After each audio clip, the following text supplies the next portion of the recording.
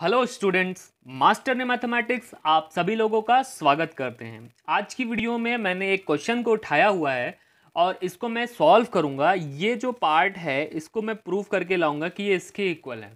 और आपने अगर पिछली हमारी तीनों लगातार जो रिसेंट वीडियोस हैं डिस्क्रीट की, ठीक है, वो अगर आप देखोगे तो मैं हमेशा यही कहता था कि ये आपके किसी प्रूविंग में यूज़ आएँगे। तो ये क्वेश्चन मैं एक ऐसा लेके आया हूँ जहाँ पर आपकी लगभग सारे लॉज आपके इसमें यूज़ हो जाएँगे। ठीक है? तो चलिए, ज़्यादा देर ना करते हुए इस क्वेश्चन को हम लोग स्टार्ट करते हैं। ठीक?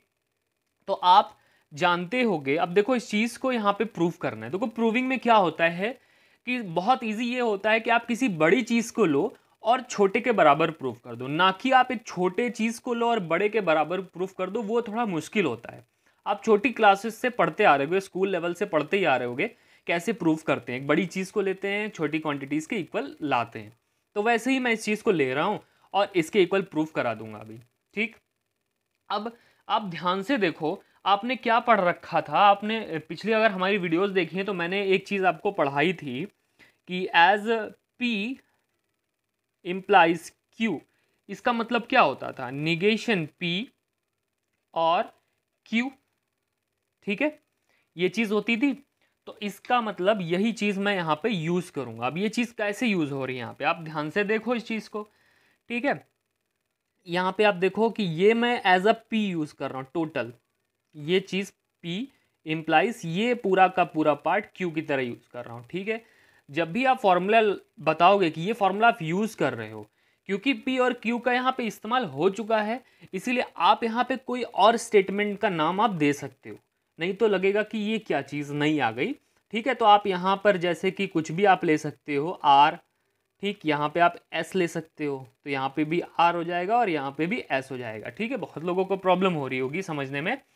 तो ऐसा चीज़ होती है जैसे होता नहीं है कि अगर आपको ए प्लस बी का होल स्क्वायर आपको कुछ दिखाना था या कुछ ऐसे प्रूव करना था तो आप ब्रैकेट में ये फॉर्मूला बताते थे एक्स और वाई की फॉर्म में। हम्म, और अगर एक्स वाई में कुछ दिया हो, सॉल्व करना हो तो अगर आपको फॉर्मूला वही लगाना होता था तो आप ए बी कर देते थे कि कन्फ्यूज़न ना हो कि यार एक्स और वाई चीज़ हमने ली है और इसका फॉर्मूला भी कैसे बन गया, ठीक है, आप समझ सकते हो इस चीज़ को। तो स्टार्ट करते हैं।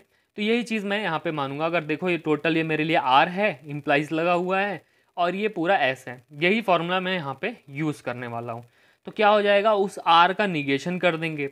अब निगेशन कर दूँगा तो अब ध्यान से देखो निगेशन करेंगे किसका? Negation of P and Q का। ठीक है? यहाँ तक कोई क्लियर इस निगेशन आर लिख दिया, फिर मैं और लगाऊँगा। उसके बाद मैं क्या कर दूँगा? क्यू लिख दूँगा, जो कि हमारा सॉरी एस लिख दूँगा, जो कि ये पूरा का पूरा एस है। तो ये पूरा मैंने यहाँ पर लिख दिया। ठीक है? कोई प्रॉब्लम यहाँ पे नहीं होनी चाहिए आप लोगों को। ठीक है? अब यहाँ पे आप देखो निगेशन किसी चीज़ का मैंने क्या बताया था? कॉम्प्लीमेंट लॉ क्या कहता था? कॉम्प्लीमेंट लॉ ये कहता था कि अगर मैं कोई ले लूँ, ठीक है स्टेटमेंट ठीक, उसका कॉम्प्लीमेंट ले लूँ और फिर से कॉम्प्लीमेंट कर दूँ तो वो ओरिजिनल हमारे पास आ जाता था।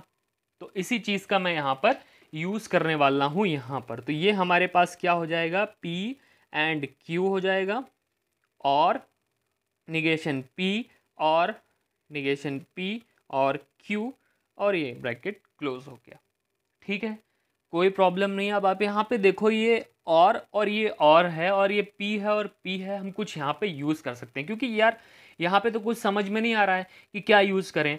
तो एक तरीके से हम यहाँ पे एसोसिएटिव लॉ का इस्तेमाल कर सकते हैं। एसोसिएटिव लॉ का अगर यूज़ मैं यहाँ पे करूँ तो ये हो जाएगा आपका पी एंड क्यू और निगेशन पी और निगेशन पी ठीक? ब्रेकेट क्लोज ये रहा और ये हो जाएगा और क्यू हो जाएगा। ठीक? आई होप यहाँ तक क्लियर है और यहाँ मैंने क्या यूज़ किया है? एसोशिएटिव लॉ ठीक? आप यहाँ पे साइड में ये लॉ लिख के बता सकते हो कि वो चीज़ क्या है? यहाँ पे आप लिख सकते हो। ठीक है? टोटल अब ये चीज़ हो गई। अब यहाँ पे आप ध्यान से देखो कि ये क्या लिखा हुआ है? निगेशन पी और निगेशन पी तो आप आइडम्पिटेंट लॉ लगा सकते हो यहाँ पे। तो ये क्या हो जाएगा? पी एंड क्यू ठीक है? और तो ये हमारा क्या हो जाएगा? आइडेम्पिटेंट लॉ से निगेशन ऑफ़ पी और ये रह जाएगा दिस ठीक? आइडेम्पटेंट लॉ यहाँ पे आप साइड में लिख सकते हो कि वो आइडम्पिटेंट लॉ का यूज़ हुआ है, ठीक है? जिसमें पी एंड पी पी आता था और पी और पी पी आता था। इसी का यूज़ किया मैंने। ठीक है? आई होप यहाँ तक कोई दिक्कत नहीं हो रही होगी। अब आगे बढ़ते हैं, अब देखते हैं कि और क्या क्या चीज़ें यहाँ पर हो जाएँगी। अब यहाँ पे एसोसिएटिव लॉ लगा सकता हूँ मैं। कैसे एसोसिएटिव लॉ लगा सकता हूँ? अब यहाँ पे ध्यान से अब देखो। इसको पूरा एक मान लो।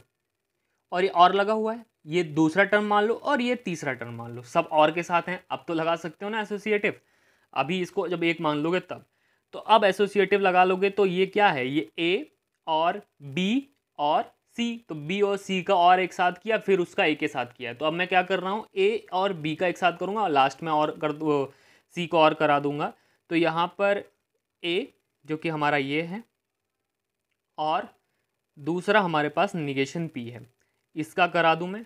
उसके बाद सी का कराऊँगा, जो कि हमारा यहाँ पे एज अ क्यू काम कर रहा है। तो मैंने क्या लगाया यहाँ पे? एसोसिएटिव लॉ लगाया। एसोसिएटिव लॉ लग गया। ठीक है आई होप यहाँ तक क्लियर सब कुछ आपको दिखने लगेगा। आप देख पा रहे कि यहाँ कुछ नहीं हो पा रहा है।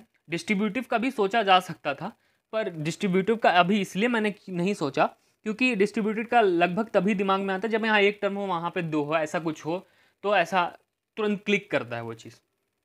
अब यहाँ पे आप देखो, एसोसिएटिव लॉ आप लगा चुके हो। तो अब यहाँ पे यहाँ पे जब आएँगे, देखो यहाँ से तो कुछ नहीं कर सकते, ये ब्रेकेट को पहले सॉल्व करना पड़ेगा। अब यहाँ पे आप ध्यान से देखो, यहाँ पे और लगाओ, यहाँ एंड लगाओ। अब क्या करें, यहाँ पे डिस्ट्रीब्यूटिव दिख रहा है मुझे। ठीक है, अगर मैं छुपा लूँ, अब आपको डिस्ट्रीब्यूटिव दिख रहा होगा। तो अब आप डिस्ट्रीब्यूटिव लॉ लगा सकते हो यहाँ पे। तो डिस्ट्रीब्यूट कर दो आप।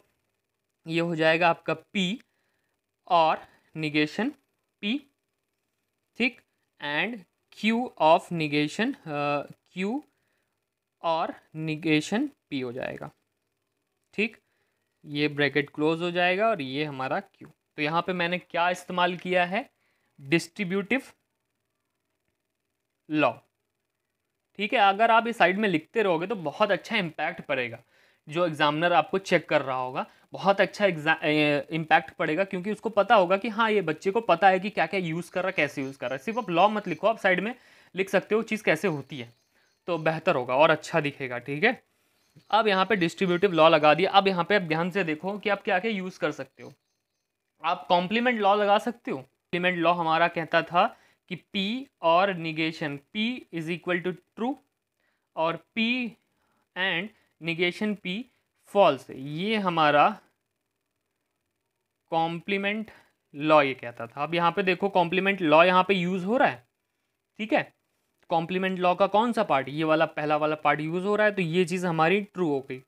एंड क्यू और निगेशन पी और यहाँ पे ये ब्रैकेट को क्लोज कर देता हूँ और एक क्यू हो गया। ठीक, यहाँ तक आई होप कोई दिक्कत नहीं हो रही होगी आप लोगों को।